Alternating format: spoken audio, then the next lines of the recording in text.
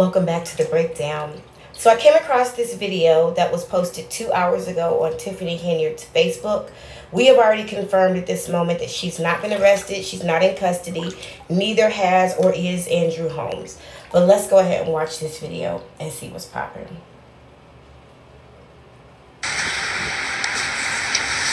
Come on in, come on in. Come on. Sorry, I don't know how to work Facebook. I don't be on here. Hold on. and it's gorgeous outside. Oh my God. It's beautiful. Come on in, guys. Come on in. So, um, I'm going to be really brief, but I want to come on here just to educate the public, the world, that I'm okay. Thank you guys for all your calls, all your concerns.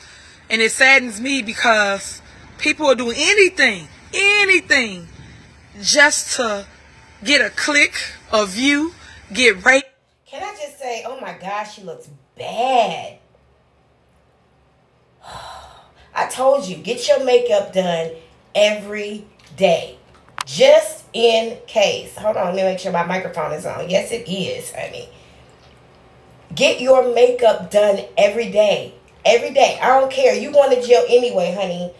Get your makeup done every day because that's not what you want to look like in your mugshot. Okay, baby? You're not naturally beautiful. Let me just tell you.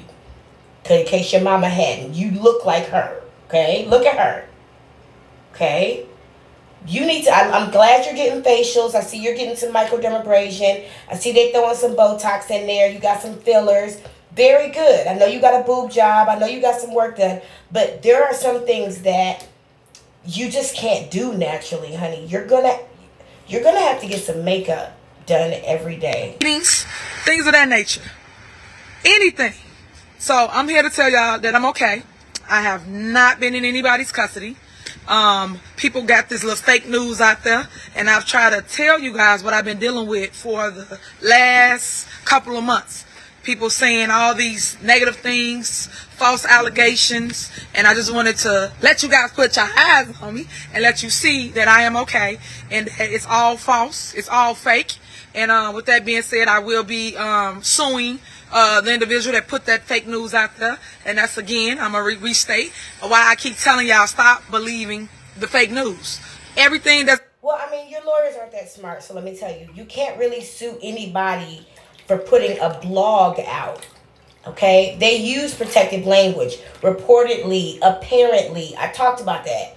That's blog tabloid language. That's how they protect themselves, honey. You are going to spend money hiring an attorney and you are going to waste your time because you can't sue a blog for writing a bloggy story. I called it what the fuck it was. Going on is political, as you guys can see. Um, they dragged me left or right. They blame me for everything possible. Uh, it's a three-legged dog walk across the street. Up, it's still fault. Just everything. So I just want y'all to see it for what it is. But I'm just sick and tired of the fake news. And that's all I'm trying to show the public, educate the public on fake news. Do your research before you guys start uh, tuning into the dumb stuff. But thank you again. I love y'all and ain't nothing you can do about it. And yeah, I even love the hateful. So thank you so much for just calling me and checking on me and making sure I'm okay. Yes, I am okay, guys. Thank you again. Share the video. Let everybody know that your super mayor is A-okay. But I will be suing the individuals putting out all this fake news for clickbait or for ratings and views. So um, stay tuned because Truth Speaks is coming out. Thank you. But Truth Speaks hasn't come out yet. So as of right now, we can assume everything she's saying or said is a lie, except for the fact that she has not been arrested.